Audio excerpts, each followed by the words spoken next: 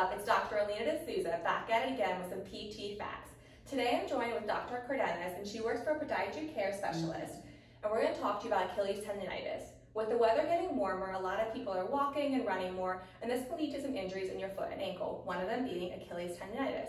So Dr. Cardenas, why don't you tell us about the pathology of Achilles tendonitis? Okay, so this is the Achilles tendon. It is a tendon that forms from the conjunction of the two muscles in the calf and it helps us propel through the gait cycle when we walk. Achilles tendonitis is the cause of when the muscle is really tight and there is a muscle imbalance, the tendon and also the surrounding structures are inflamed. What happens with this inflammation, if, if it becomes chronic, is that there could be uh, ser serious disability and eventually rupture. That is why it is very important to see your physical therapist, see your doctor if you are experiencing any discomfort in this area.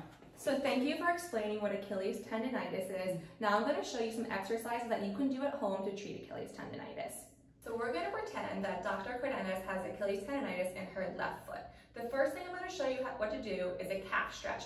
Like she said earlier, there's two main muscles in your calf, so there's going to be two calf stretches. The first one, I'll have you face the wall, put your left leg behind you, yep, and then just lean forward, keeping that left leg straight. So move your hips forward. Good. So as you do this, you should feel a stretch in this area. You want to hold for about 30 seconds and do that three times. The second stretch is very similar to this, but as you lean forward, you're going to bend your knee. Yep, and just still try to keep your heel down. Perfect. You should still feel a stretch in this area. This gets that second muscle in the calf, the soleus. Perfect. So I'll be stay facing the wall for the next one. You'll have your feet even with each other. You're gonna go up with both feet, so go up on your tippy toes. Take your right foot off and then slowly lower down with your left. That's perfect. This is an eccentric heel raise. You'll do about two sets of 10 for that. When it comes to any sort of tendonitis or itis, eccentric is a great exercise. So those are the three main things I would do if you have Achilles tendonitis. You also want to practice icing and seeking out any sort of care if this pain is going on.